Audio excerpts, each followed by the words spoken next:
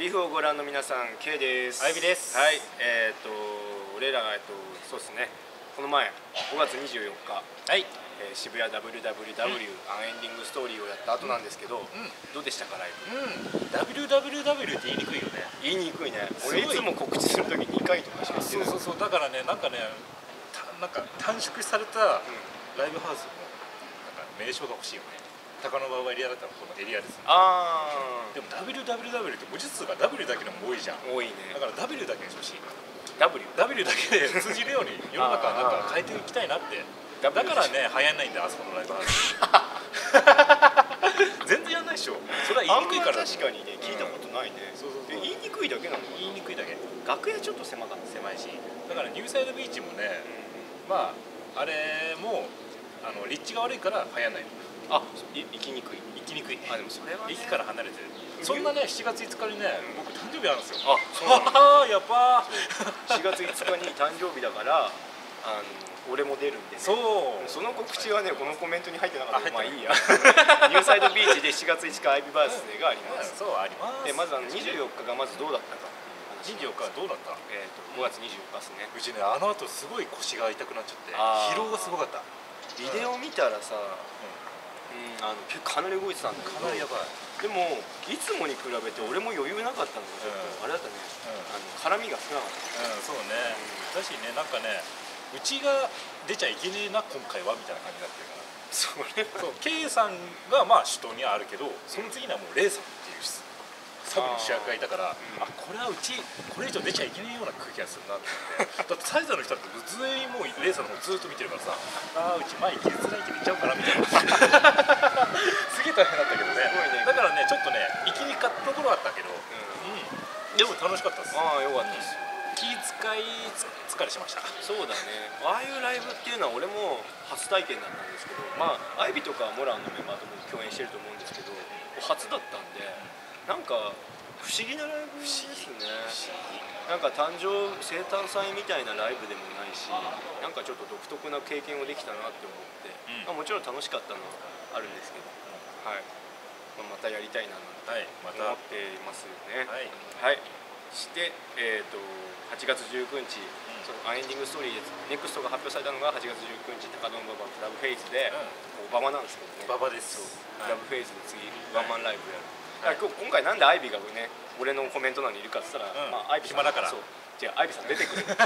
クラブフェイズのライブクラブヘッド出ます、はい。よろしくお願いします。あそこね結構ね俺の俺の音楽とか合うような音なんですよ。そうなんだ。結構バッチベチに、へー。バッチベチ。楽屋狭いからあんま好きじゃないんだけどね。うん、俺も広かったらいいんだけどね。だから流行らないんだよ。楽屋でかいよね。でかい？あのああ、大きい方がそうそうそう言いやすいっていうのもあるしやっぱリラックスできるし、ういいライブにつながるからね。つながる。次楽屋狭いからもしかしたら俺とアイビーフェイス始まった始まった3曲目ぐらいまではちょっと機嫌悪いかも。機嫌悪いかもしれない。あもう疲れちゃったんです、千歳君にね殴りかかってるかもしれない。あそう千歳君も出ますよ、シャンそうティそうそうシャンティの。千歳君もで和樹も出るしね。あそう和樹も出るね。和樹もあそうあとあと翔くん。翔くん出る。翔くんがねいるってねあの知ってる人がどれぐらいいるかわかんないけど、俺ら世代だとアンスローディオボーンってあのねみんな事務所入ってないとあディオ入ってたか？入ってた。あアンスローもスピードディスクだった。自主なのボーンだけだった。そうそうそうそうそう。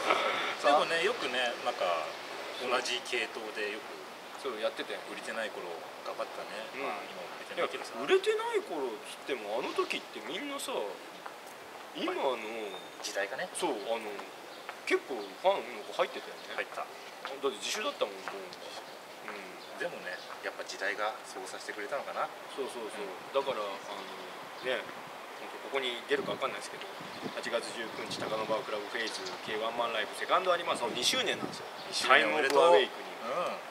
タイムオブアウェイク。ああタイムオブアウェイク。あれ去年は？えーっと去年は1周年っていうのは特にやってないんですよ。あ1周年やってないえっ、とあ7月22日があってレックス、うん、それが俺の中でまあほぼ一周。じんちゃんのバースデーだった。ああなるほどなるほど。僕の嫌いなレックスね。お前毒しか吐かない。毒しか吐かない、もう落語やめてるからきっと。あやめてねえかこれ。そっか8月はやめてんだ。いろいろありますからね。でもそのタイムオブアウェイクニング覚醒の時っていう意味うん、おおかっこいで、い。2年 ,2 年目を迎えて、そうストーリーで1年こう経って、WWW と,、えー、とアージョブ・ケイバースデーって俺の中でそう誕生日ってなんか節目なんですよ。そうだからそこからまた新たに2周年目をどうやっていこうかなっていう覚醒しようかなと思ってうん、ます覚醒です、はいだからはい。だからはい。えっ、とアイビも出ますのでうん。はい一応も覚醒します。はい8月19日待ってます。はい。はいそんな待ってます。はいそんな感じケイト。アイビーでした。はいじゃあねー。バイ Thank you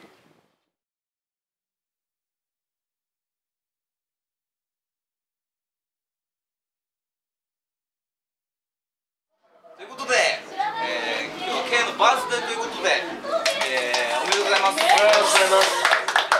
今日はね、あのー、高橋誠バンドで、えー、今日 K のお祝いをね、したいなと思います。えー、まあ今後、こ今後というか、あのまたここから1年 K がね、いろんなことで成長できたらなと思う次第と、僕らからの熱い思いを音で届けたいなと思います。K、ハッピーバースデー。ハッピーバースデー。K。誕生日おめでとうございます。えー、まあ結構つるむようになってから長